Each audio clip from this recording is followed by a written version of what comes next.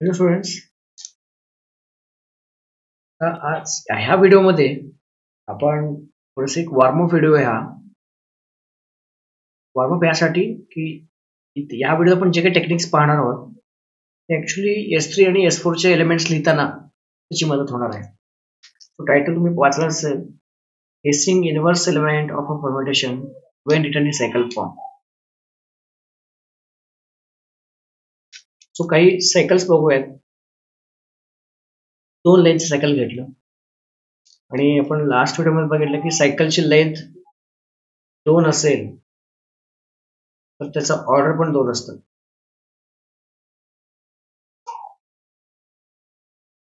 आणि ऑर्डर दोन आहे त्याचा अर्थ वन टू दोन वेळा ऑपरेट केला की आयडेंटी लिमिट येतं.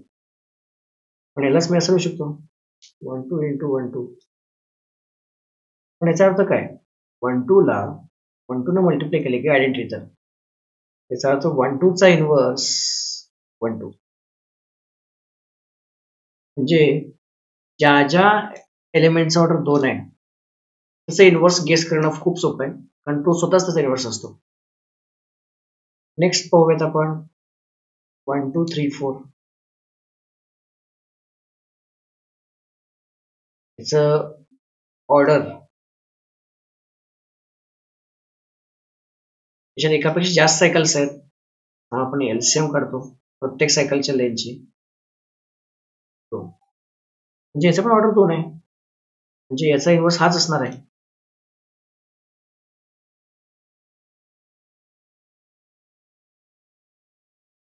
इथून फार मेहनत घ्यावी लागणार नाहीये. तीन लिमिटचं बघूयाच one two three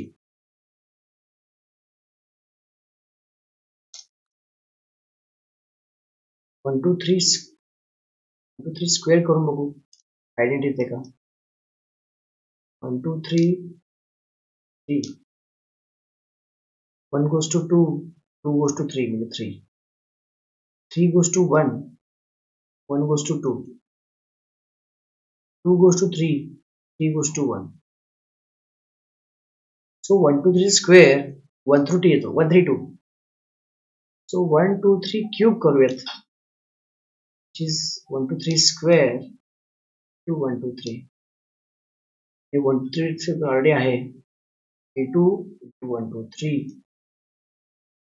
1 goes to 2 2 goes to 1 cycle complete 2 goes to 3 3 goes to 2 cycle complete 3 goes to 1 1 goes to 3 cycle complete म्हणजे हा आला आयडेंटी एलिमेंट तुम्हाला दिसत असेल की या दोघांचं मल्टिप्लिकेशन आयडेंटिटी देतो हे दोन एकमेकाचे इन्व्हर्स आहेत.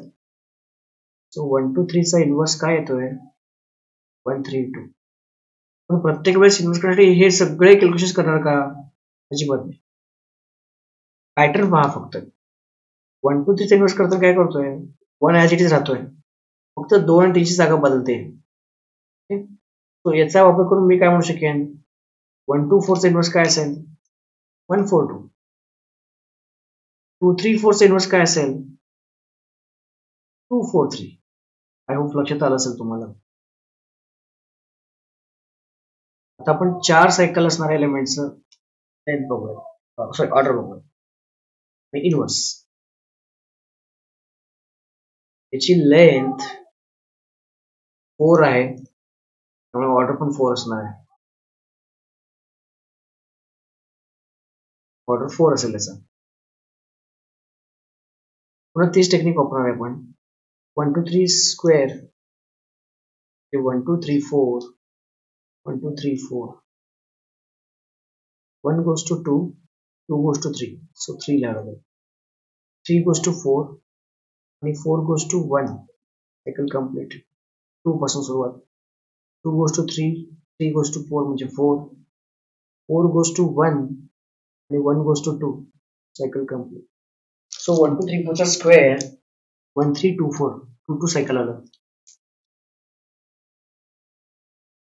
मग 1, 2, 3, 4 क्यूब किंवा रेस टू फोर करू डायरेक्ट रेस टू फोरला मी असं लिहू शकतो. स्क्वेअर स्क्वेअर हे किती आहे थ्री टू फोर आणि one three two four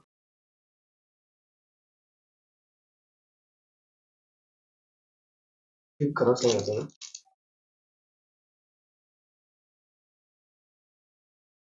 one two three four cube one two three four square into one two three four one two three four square माहिती आहे आपल्याला one three two four one two three four one goes to two two goes to four four goes to four four goes to one one goes to one one goes to three three goes to four four goes to two 2 goes to 2 2 goes to 3 3 goes to 3 3 goes to 1 cycle complete आणि obviously 1 2 3 4 चा order 4 आहे मग 1 2 3 4 raise to 4 2 3 4 raise to 3 into 1 2 3 4 हे identity येणारच आहे त्याच्यामुळे याचा inverse हा असेल वन थ्री फोरचं क्यूब म्हणजे काय one four three two one two three four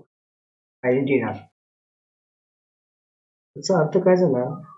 one two three फोरचा inverse one four three two so pattern पहा काय व्हायलाय पहिला आणि शेवटचा एलिमेंट एकत्र येतात. आणि मधल्या दोघांची एलिमेंट जागा बदलून एलिमेंट लिहितोय आपण. सो हे जर लक्षात आलं तर वन टू फोर थ्रीचा इन्व्हर्स काय असेल? पहिलं आणि शेवटचा एलिमेंट एकत्र लिहायचं. टू फोर ला फोर टू लिहायचं one three two four inverse कसं लिहिणार? पहिलं आणि शेवटचा एकत्र म्हणजे one four three two two three हे जर तुम्ही पॅटर्न लक्षात ठेवलात जेव्हा तुम्हाला एस फोरचे एलिमेंट्स लिहायच्यात एस एच एलिमेंट्स लिहायच्यात मग फार त्रास होणार नाही. असेच व्हिडिओज पुढे येत राहणार परमिटेशन ग्रुप संदर्भात. पण पुढच्या व्हिडिओमध्ये पुन्हा भेटूया. थँक्यू